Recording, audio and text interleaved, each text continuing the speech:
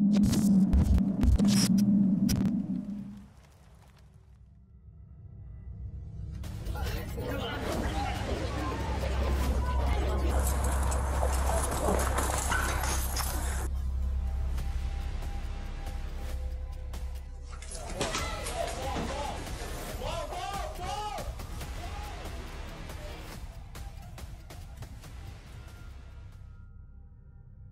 Všechny vás vítám u nového videa, tady Sajdok, a v tomto videu se podíváme na pár případů zločinců, kteří se pokusili utéct od soudu.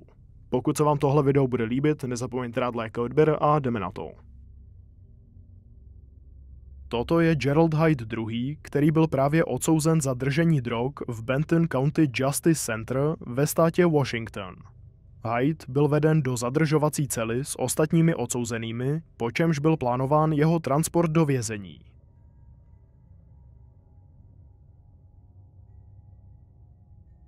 Ale Hyde měl jiné plány.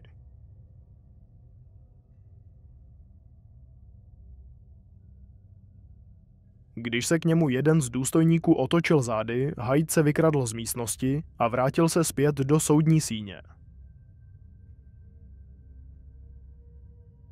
Poté si sundal vězeňské tričko a použil ho k zakrytí pout. Hyde pak prošel chodbou, přičemž se zbavil nápadných vězeňských bod, než vyšel přes halu ven a utekl na ulici.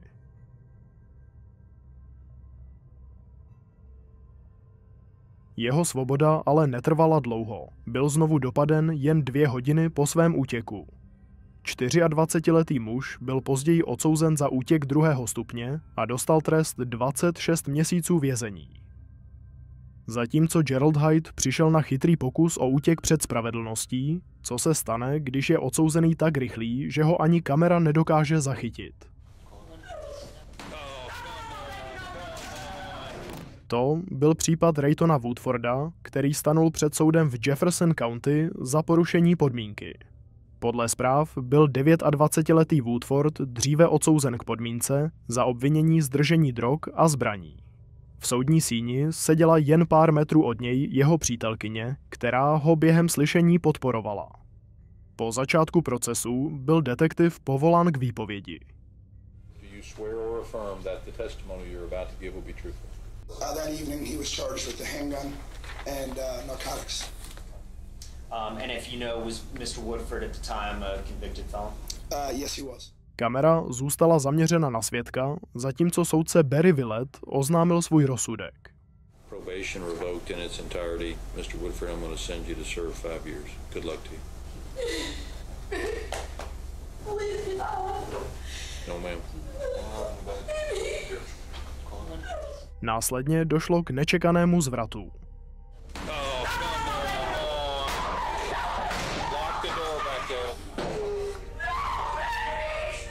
V soudní síni vypukl chaos a kamera zachytila jen záblesk Woodforda, když se pokusil o útěk. Jeho přítelkyně ho zoufale prosila, aby přestál.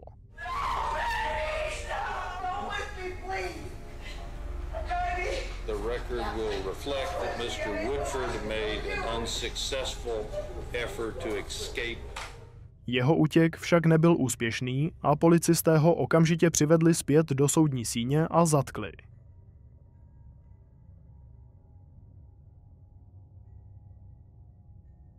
Během potyčky si Woodfordova přítelkyně stěžovala, že jí soudní úředník postrčil a zatáhl za vlasy.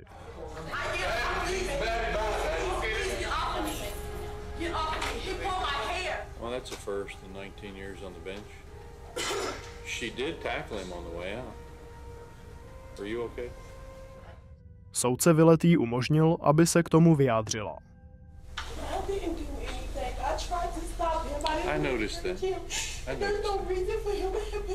Když však začala obvinovat i samotného soudce, ztratil trpělivost.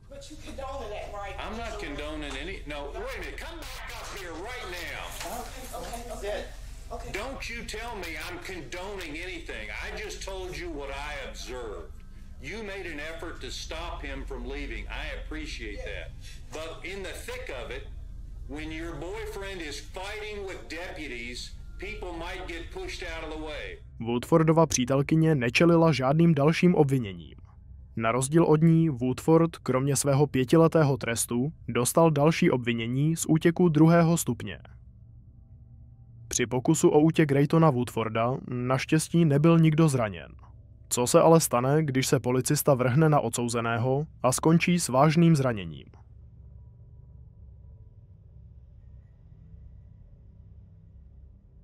To byl případ Nikolause Gerisna, který byl odsouzen za držení drog v Ohio.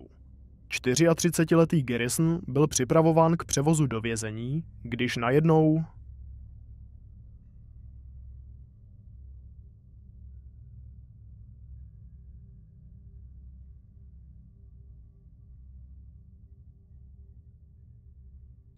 Dva zástupci šerifa Gerisna zadržovali, aby ho odvedli do vězení.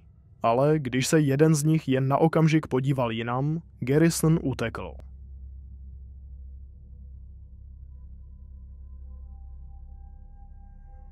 Vyrazil ze soudní síně a běžel po schodech, zatímco se jeden z policistů vrhl přes zábradlí, aby ho chytil.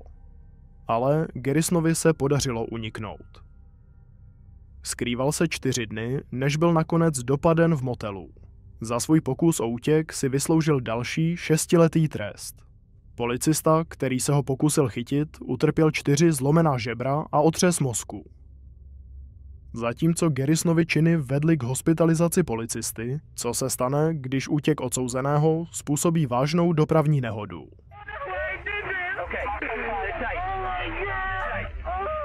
To byl případ Cyruse Matthewse, který čelil přestupkovému obvinění u městského soudu v Ohio. 19-letý Matthews byl právě odsouzen na 60 dní vězení za případ silničního vzteku.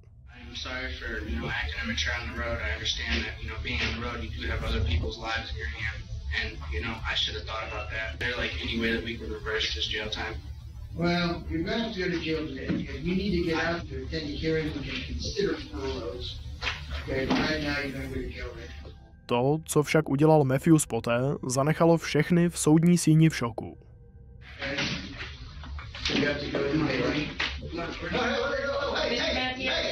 Když Matthews uslyšel svůj trest, jednoduše odešel pryč ze soudní síně. Soudce ho varoval, že pokud se nevrátí, bude obviněn z útěku. Ale Matthews měl jiné plány. And charged with escape, felony escape if he doesn't get back in this port.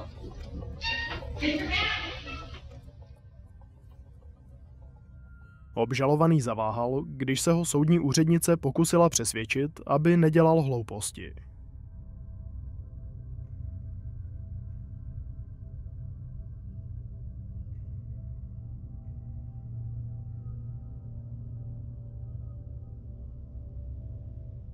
Když však jeho přítelkyně také vyšla ze soudní síně, oba společně utekli na parkoviště, kde nasedli do auta a uprchli.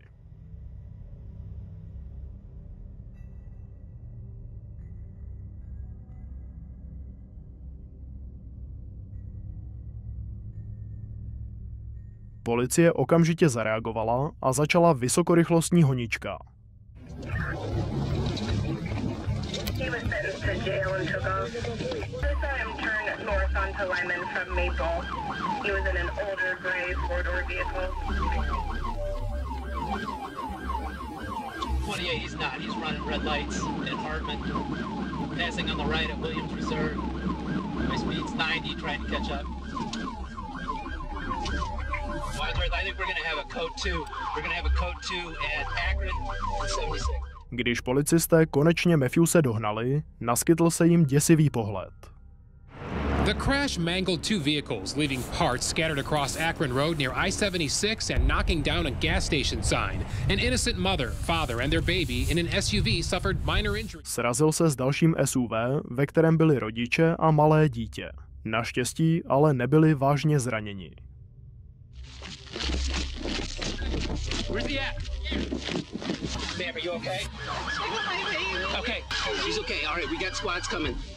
Ashley, help them get out, help them get out, he's up here. Poté, co si Matthews uvědomil vážnost svých činů, propukl v pláč.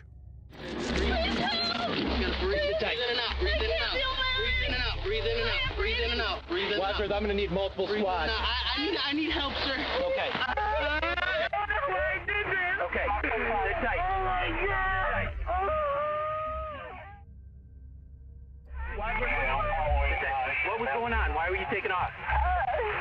They're trying to lock me up for 90 days and I have a whole life. So what happened? I tried to run like Why? I don't know. Nakonec byl obviněn z útěku a těžkého ublížení na zdraví a byl odsouzen na dalších 425 dní ve vězení. Zatímco útěk Cyruse Matthewse se ukázal být bolestivou lekcí, co se stane, když se pokusí utéct zločinec na invalidním vozíčku.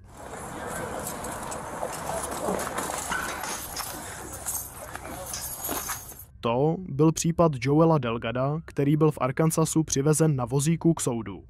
Delgado, který byl ve vězení kvůli obvinění z vloupání a držení zbraní, údajně policii tvrdil, že se necítí dobře a nemůže hýbat nohama. Um.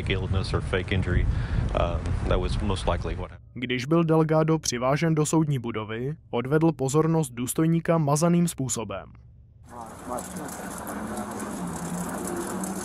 Hey, you see a shoe back there? Where is it? Co se stalo pak, je noční můra pro každého policistu.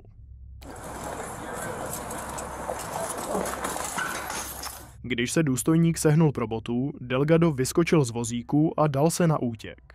Policista ho pronásledoval, ale Delgado zmizel. I'm gonna catch you, baby. I'm gonna shoot your head. Hey, can you call the police for me? Call the police for me. Hey, call the police. Call the police. What way you go? Bez vysílačky měl důstojník problém zavolat posily. Hey, huh. The wheelchair dude got up and ran. Yeah. I couldn't catch his ass. And my radio was in the mother. I had my camera on though. Jump the rail. it's on my camera, bro. Oh, what's that, man? Zatímco policie na situaci pohlížela s nadhledem, Delgado byl pryč několik hodin. Později byl chycen na druhém konci města, obviněn z útěku a znovu posazen na vozík. 41 year old is being wheeled into an ambulance, claiming to be injured and unable to walk. Zatímco Delgado úspěšně oklamal důstojníka, co se stane, když musí podezřelého pronásledovat samotný soudce.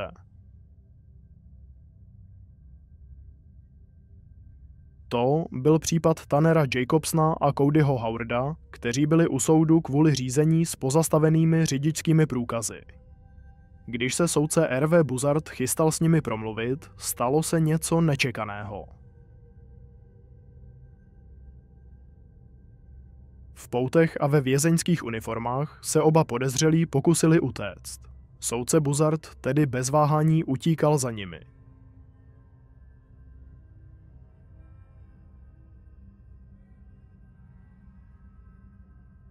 Sotva, co vyběhl ze soudní síně, si z Howarda jeho vězeňské boty udělali menší srandičku.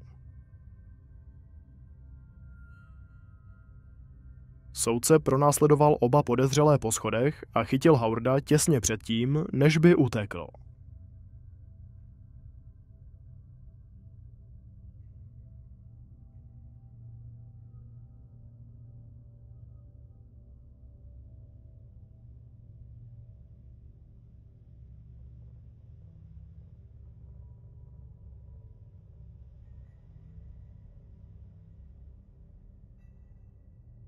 Jacobson utekl pěšky ještě několik bloků, než si uvědomil, že to nemá cenu a vzdal se. I only get like four blocks and then I stop. Like I just stopped on my own. I'm like, what am I doing right now? It was just a split second like decision. I don't even know why I did it. Like I would be out of here if I wouldn't have ran. I didn't try to escape to get out. I tried to escape to get well, and I tried to do what I could, you know, do what I could do to get my drug addiction. Původně čelili pouze 30-dennímu trestu, ale nakonec si oba odsedí ve vězení mnohem díl. Zatímco této dvojici se podařilo úspěšně uniknout, co se stane, když se zločinec při pokusu o útěk nedostane ani ze soudní síně.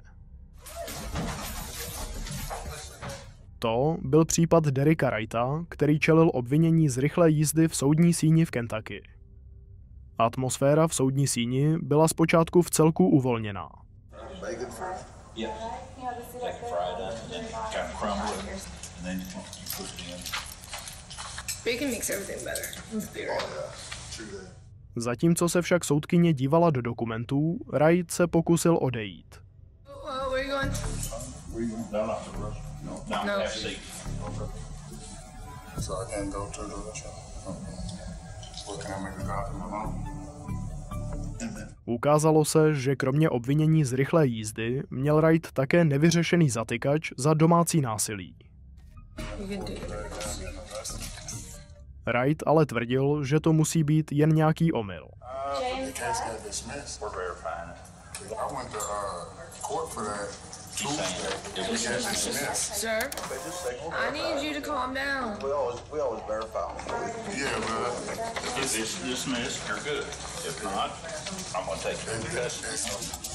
I need to call my mom if I'm gonna get arrested because this is something new to me because this is the only thing that I was supposed to go to court for. Soudkyně však potvrdila, že zatykač stále platí. It's unserved, so it's still good. Okay. Okay. Sir, you need to calm down, okay?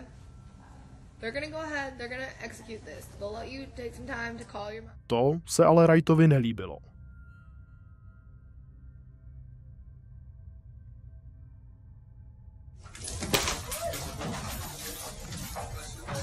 Když byl Wright odváděn do vězení, rozhodl se utéct. Policista ho však bleskově chytil a dva další zástupci mu pomohli dostat Wrighta pod kontrolu. Give me your other arm. I got it. Hold your arms out. One before you can cancel that. We got it. Quit fighting. Quit fighting. I přesto Wright dál bojoval, dokud strážný nevytáhl. Taser,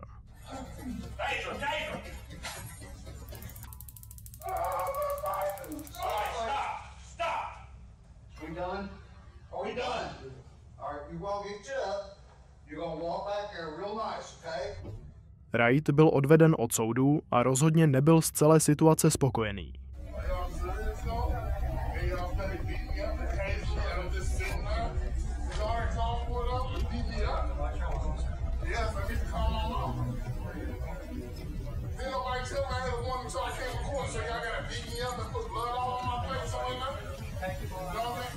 Jeho pokus o útěk mu přinesl další obvinění z třetího stupně útoku, odporu při zatýkání, trestného poškozování cizí věci a narušování veřejného pořádku. Derek Wright však nebyl jediný, kdo za své činy dostal taserem. Stejný incident se stal také u procesu Mária a Joseho Guzmanů, kteří čelili vážným obviněním zdržení a prodeje drog. U soudu se jednalo o zvýšení Máriové kauce z 500 na 15 000 dolarů kvůli novým obviněním z vloupání. In your order, it specifically says no further violations of the law. He picked up new charges. He violated the law. Obhajoba však argumentovala, že tato nová částka je příliš velká, jelikož obvinění z vloupání je neplatné. They don't have the victim because he left town because he's a drug dealer. I mean, we might as well say. 100,000 full cash, Judge. It's an amount that Mr. Guzman can't post. That's not the purpose of bond. The purpose of bond is to make sure that someone comes to court. Soudkyně však souhlasila se žalobcem a zvedla Máriovu kauci na 5000 dolarů. I agree. New charges obviously have been picked up. Current bond is not appropriate. It will be 5,000 full cash. Mario se ale rozhodl, že do vězení nepůjde. Yeah, yeah, yeah.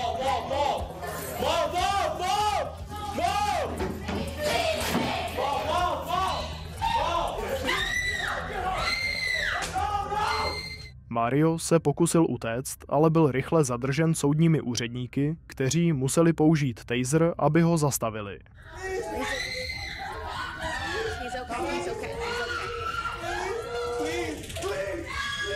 Jose se svého bratra pokusil uklidnit, ale neúspěšně.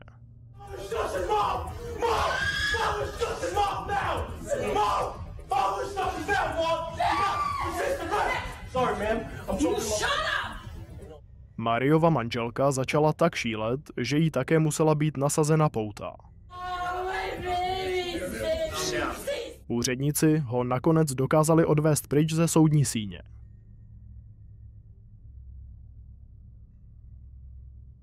Mario čelil dalším obviněním z pokusu o útok a trestného poškozování cizí věci, zatímco jeho manželka, která během incidentu málem zešílela, byla také zatčena. Vůbec nejšílenější pokus o útěk však pochází z Ruska, kde byl Leonid Gracer souzen za vraždu své sestry. Gracer, který údajně zavraždil svou sestru v bytovém komplexu v Moskvě, tvrdil, že ho k vraždě přiměl samotný Satan. Gracer byl nalezen nahý vedle své sestry, jejíž tělo bylo pokryto satanistickými symboly namalovanými krví. Během výslechu se Gracer usmíval a neměl v sobě ani špetku lítosti Павел, зачем так с сестрой расправились? Мне было надо, я делал то, что должен был. Tvrdil, že svou sestru musel zabít, aby se zbavil pochybností. Должен зарезать ее и убить ее? как? Нет, избавиться от сомнений От каких сомнений? в себе. Policisté také v jeho bytě našli drogy, což sice mohl být faktor, ale Gracer tvrdil, že si byl plně vědom toho, co dělá. Чем вы так с ней расправились? Потому что я должен. Себе должен. Я должен так себе. Я осознанно это сделал. U soudu byl Gracer umístěn do skleněného boxu, aby nemohl uniknout. Ani to ho ale nezastavilo.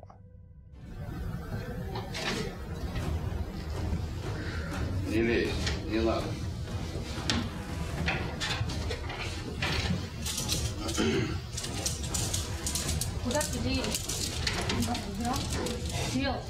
Když jeho první pokus nebyl úspěšný, zkusil jiný způsob.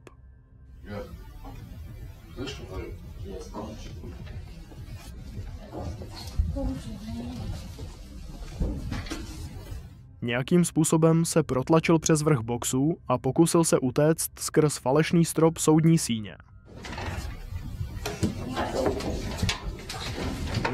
Что? Я, красиво.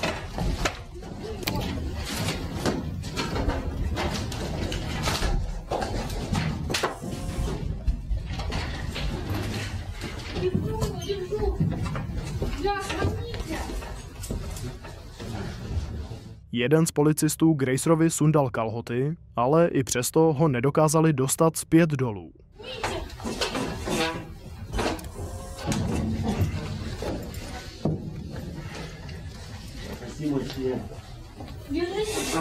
Po chvilce se objevili další policisté, kteří Gracerovi hrozili použitím taseru. Саня, лезьте туда. Давай, Помогите! Помогите мне! Помогите мне! Помогите мне! Дайте мне руку! Дайте руку! Дайте руку! Дайте мне руку! Пускайте, говорю! Куда нажать? Дайте руку! Сейчас, я тебе дам руку. Блядь, меня... Nakonec to však vzdal, nasoukal se zpět do své klece a byl požádán, aby si opět nasadil své kalhoty. Ко мне, блядь! А, все, все, все! Сука, все, я спускаюсь! Я тебе дам сейчас. Я спускаюсь! Быстро, блядь! А где он залазит? Да он сверху пролез через это. Ты чё, я... Это видно, что на Дурак, ну все, открывайте, зайдите в клетку, блядь. Здесь, держите, вот здесь. На, ходи, ходи сюда. Ходи сюда, сейчас, сейчас, сейчас. Ходи сюда, одевай.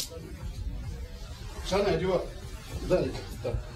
Když se situace uklidnila, Gracerovi byly nasazeny pouta, aby se předešlo dalšímu útěku.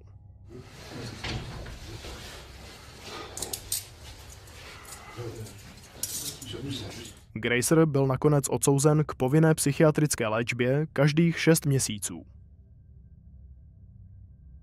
Děkuji mnohokrát, že jste video dokoukali až do konce. Pokud se vám líbilo, dejte like, odběr, zvoneček, znáte to, napište nějaký komentář, který z těchto, které z těchto videí vás nejvíc pobavilo, nejvíc zaskočilo, nevím. A vidíme se u dalšího videa.